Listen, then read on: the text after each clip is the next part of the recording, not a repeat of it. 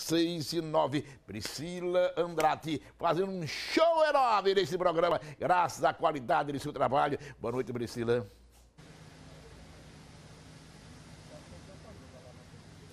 Boa noite, Gilmar. Muito obrigada. Esse é o trabalho do Jornalismo Verdade do Sistema Atalaia de Comunicação. Bom, eu estou aqui no Conjunto Leite Neto, aqui na, na primeira delegacia metropolitana. Sabe por quê? Muitas ocorrências policiais. Eu vou contar a história do Cosme. Ele é um eletricista e foi vítima da ação dos bandidos hoje no bairro Luzia. Como é que foi essa história? Mostra aqui, Miro Ribeiro, o carro dele que tomaram de assalto. Eu estava saindo da empresa meu dia 40 para essa base, e os pessoal chegaram, me renderam, pegaram esse carro e a, com a ajuda de, da, dos meus amigos da rede social, a gente saiu na perseguição, ligamos para a polícia, a 190, a, a Gertan. Graças a Deus conseguimos, sabe, ele estava no Augusto Franco, depois foi para Atalaia, e sei que a gente conseguiu tarde encontrar o carro, graças a Deus. A graças a Deus o carro foi localizado, mas foram dois bandidos, meio-dia meio e 40. 40. Armado, foi de pistola, entendeu? Me renderam, né? Aí na, a gente saiu na perseguição, a, a, ele ligou para 190, foi atendido, né? aí saiu com eles, né? né? Foi um para Augusto Franco, né? aí disseram que ele estava na Atalaia, a gente foi para Atalaia, né? Aí depois a gente eh, soube que ele estava no Tamandaré, foi pego no Tamandaré, o carro que estava com eles. Quer dizer que tudo isso começou em frente à empresa que o senhor trabalha? Trabalho Luzia, foi na hora de meio-dia e meio. Na hora que eu tenho almoçado, terminado de almoçar, que entrando no carro eles me renderam, né? Graças a Deus o carro foi recuperado. Uma, uma boa noite para o senhor, senhor Cosme. Vem comigo porque a história continua, não é? Como ele falou, o carro foi tomado de assalto no bairro Luzia, mas os bandidos, sabe o que estavam fazendo? Usando esse carro para praticar assaltos, viu? Isso circulando por toda a capital. Foram para o conjunto Augusto Franco com esse Voyage branco, percorreram a cidade toda até que a polícia foi acionada pelo 190, o CIOSP, e o Getan também entrou em campo e conseguiu identificar os bandidos. Sabe onde eles estavam, Gilmar? Em uma casa, invadiram uma casa que fica no bairro Atalaia. Quer dizer que conseguiram chegar até eles. Sim, positivo. A gente recebeu a mensagem sobre esse veículo Voyage que vinha praticando assalto na região. E na Atalaia, eles invadiram a residência, inclusive os moradores são idosos, agrediram os, os moradores e levaram o veículo, esse veículo aqui. Olha só, mostra aqui. Dois idosos estavam na residência, mas a polícia, Getan, Rádio Patrulha, Operação Conjunta, conseguiram aí identificar o carro, conseguiram localizar o carro, conseguiram recuperar os pertences, porque os policiais agiram de forma rápida. Foi positivo, positivo. A gente ficou copiando a rede rádio e enquanto a RP fazia as buscas na área, a gente ouvindo o rádio e acompanhando também.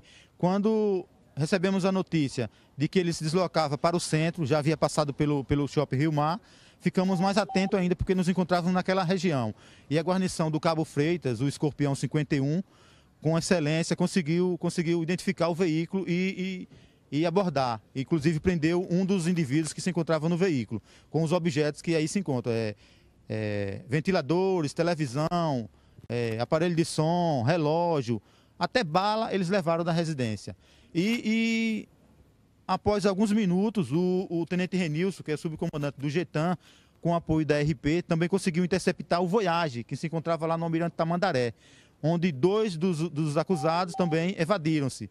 Evadiram-se do local e a gente trouxe a ocorrência para a primeira delegacia e minutos depois recebemos a informação do pessoal do, do, do Leão o Leão Operações nos informou que haviam prendido mais um elemento lá no Almirante Tamandaré, que tinha invadido uma residência e apreendeu mais uma arma de fogo. Eles utilizaram nessa ocorrência um simulacro de pistola e um, um revólver 32, um 32 inox.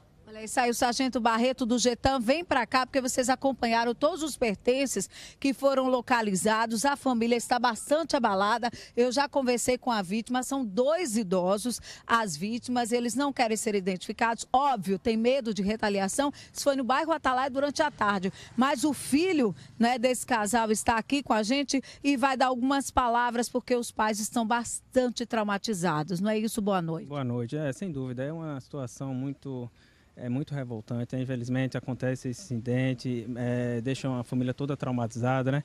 Os bens são supérfluos, né? A, a, vida é muito mais importante. E graças a Deus nós temos anjos da guarda que, que protegem desses meliantes, né? Mas graças a Deus está tudo bem.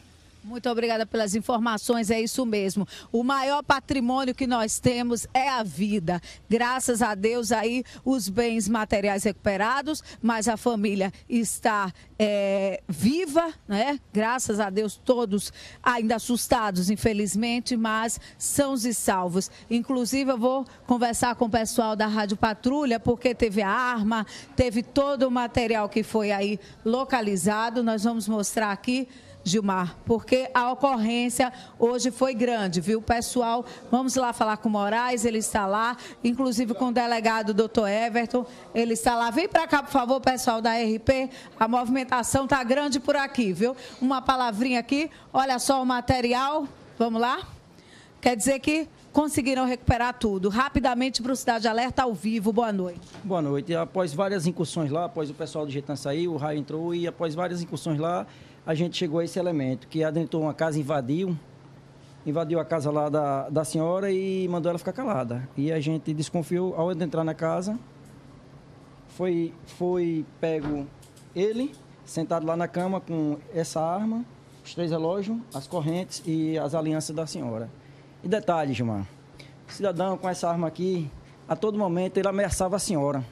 Botou ela no chão, apontou a arma para a cabeça e depois de tudo dessas ameaças, o cidadão ainda disse, não, esse marginal disse que ainda ia voltar na casa da cidadã. Pois é, Gilmar, lugar de bandido é na cadeia. Eu com você, segue aí no estúdio Priscila Andrade para o Cidade Alerta Sergipe. Parabéns ao trabalho da Polícia Militar de Sergipe.